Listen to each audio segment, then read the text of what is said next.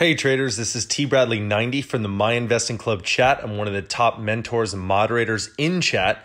As a special gift to our viewers on YouTube, we have created a free two hour course to help teach you how to start a consistently profitable trading business and identify high paying setups in just 30 days.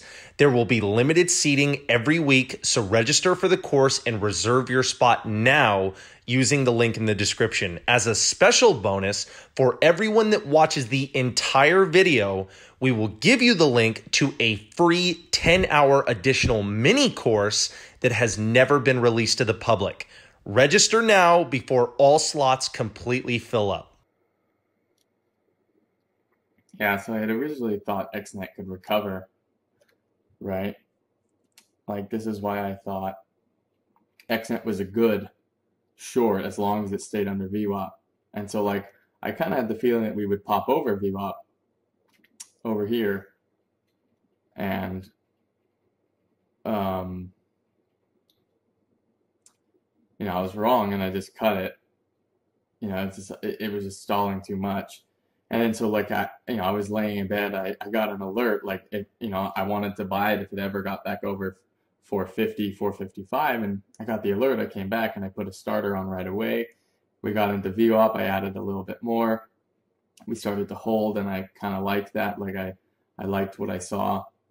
You know, we weren't we weren't tanking, so I put put another piece on, and now I'm hoping that we can go. I think this can this can rip five.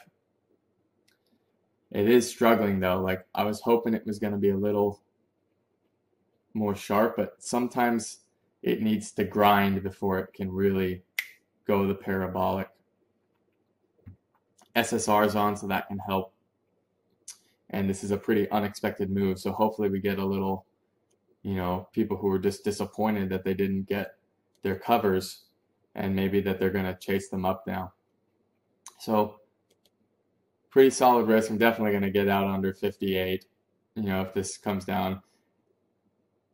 I basically want this to stay strong or not, or I'm done with it. Looks like the ask is pretty stacked, and this is probably due to the SSR. You know, people can't attack the 465, right? So they're all trying to get in on the best offer. Now, this can, you know, result in two things. It, it can result in a wash, right? It like SSR kind of leverages things. It can result in a wash, you know, when people, you know, can't get, you know, it starts to fail and then people move to 65, 64, 63, 62, 61 and it washes like that kind of on on air almost or they could get swiped up. Right? See how it just skipped down to 62? I'm get I, I'm I got to cancel these orders so I can get ready to sell if I need to. Um or they can get swiped, but they didn't get swiped, right? They, you can see they just chased down. But let's see what happens if they fill down here. On this alone, I might move the stop down to 57 or 55. Just, I want to see if this is like, if they get swiped or not.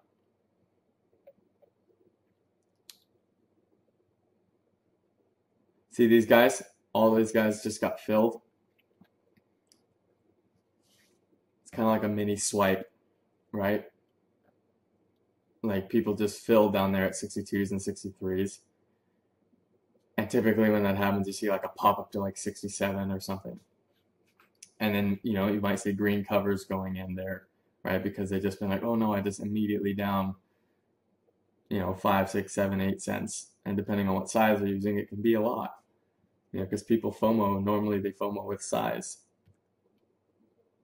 Right? See, like that was the swipe.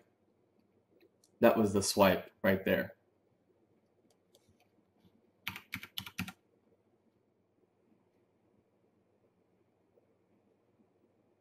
Got filled on XNET. All right, I got it off, and the trade's over.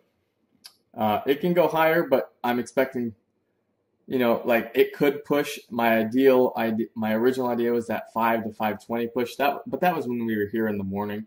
I kind of, I, I'm dwindling down my expectations now that it's in the afternoon or midday.